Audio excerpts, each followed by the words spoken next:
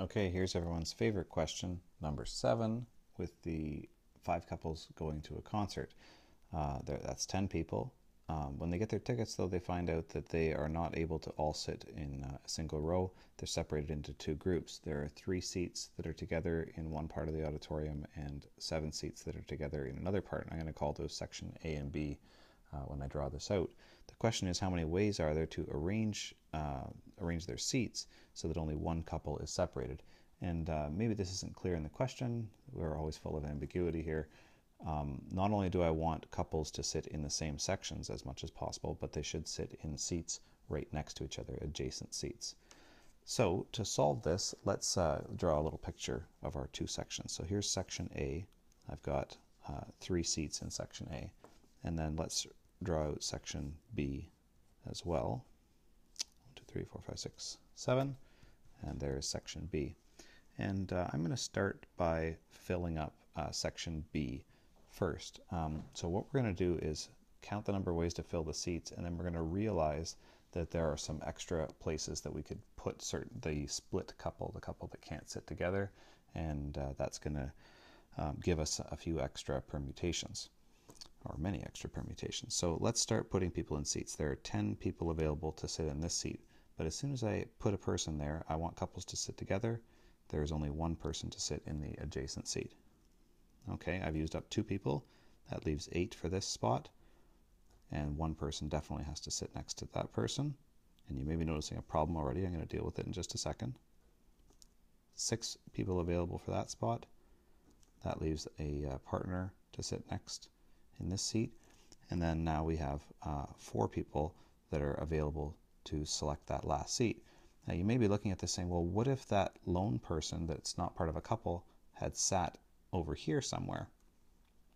Well, that's a good point. They could have sat either on either end or between any of these uh, three uh, sets of couples. So they could have sat here or kind of in here or here or here. That means there are four ways to have used these same people um, in, in the same order by just moving this one person, this, this lone person, into different seats and shuffling everybody down. So we're going to multiply that whole thing by 4. Now, what that means is over here somewhere, I need to put the partner for, uh, sorry, for this person right here. This is the split, the split uh, couple. So I'm going to put the other partner let's say in that first seat, and again we can move that person in a second, that leaves two people left, uh, which is one couple. So here is that couple being placed in the two remaining seats. And once again, I don't have to put that split person here on this end. I could have put them at the other end and left these first two seats for the couple that is together. So we have two places that that could have happened.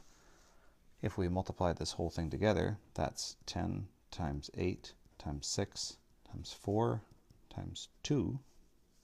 10, 8, 6, 4, 2. Those are all the values inside of my brackets. And uh, that whole thing is multiplied by 4 times 2.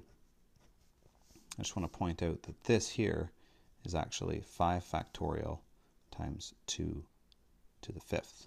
So if that uh, you may see why that's the case by arranging five couples. Uh, and then these are the number of ways to arrange people within each couple. And then this deals with the fact that we have these splits and we can move these people into different places. Anyway, multiply that whole thing out 30,720 arrangements where only one couple doesn't get to sit um, together and the remaining couples sit in adjacent seats. And that's the whole thing.